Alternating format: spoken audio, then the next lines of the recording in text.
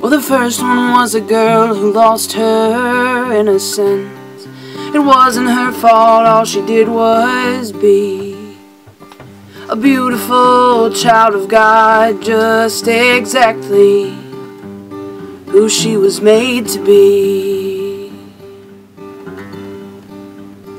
The second one was a prostitute. She led a life the few would choose to lead.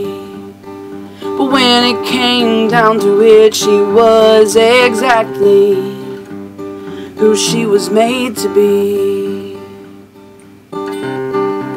And these are the women in our father's family tree. They may not be perfect, but they make it okay to be me.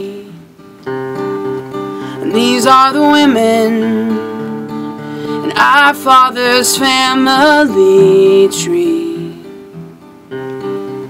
They may not be perfect, but then neither we.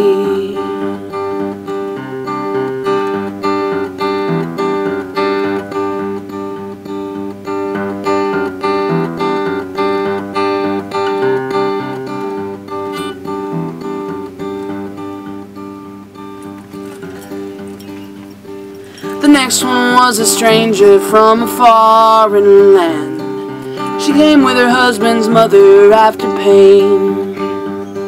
She left with love and found that then it doubled. And she counted all as gain. The last one was a little girl, a teen now. A mom to be and only just engaged. She gave birth to her first son in a stable and knew through him that God would surely save.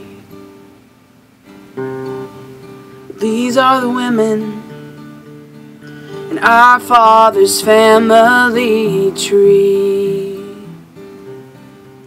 They may not be perfect, but they make it okay to be me.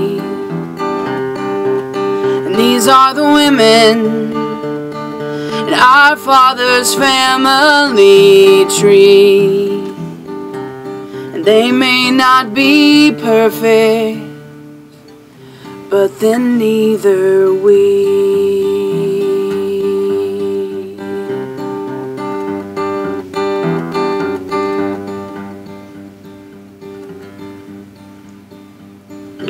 There's another one, a broken one. The chains of grief, they just won't set her free. But after looking at her genealogy, she knows she's just who she was made to be. I know I'm just who I was made